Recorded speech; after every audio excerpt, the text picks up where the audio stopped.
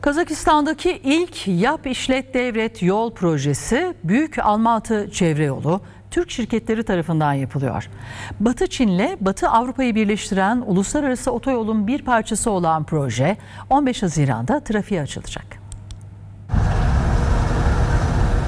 Kazakistan'da büyük projelere imza atılmaya devam ediliyor. 66 kilometre uzunluğundaki Büyük Almatı Çevre Yolu projesi 28 ayda tamamlandı. İki Türk şirketi tarafından hayata geçirilen projenin inşasına 2020 yılının Ağustos ayında başlandı.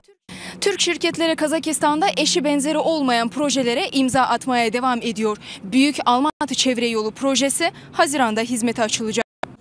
16 yıl boyunca Türk şirketleri tarafından işletilecek yolda Türk otomasyon sistemleri kullanılacak.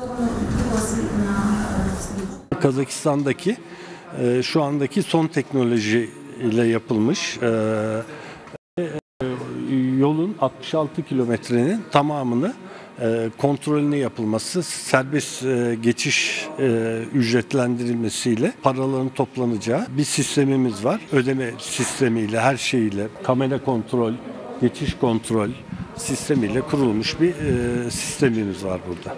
Avrasya Kalkınma Bankası temsilcisi Margulan Abdirov projenin ülke için önemini vurguladı.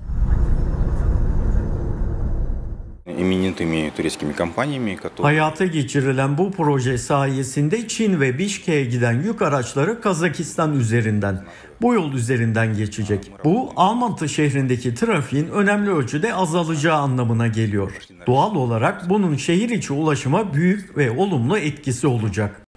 Maliyeti 480 milyon dolar olan çevre yolunun 15 Haziran'da trafiğe açılması hedefleniyor. Terleyen robot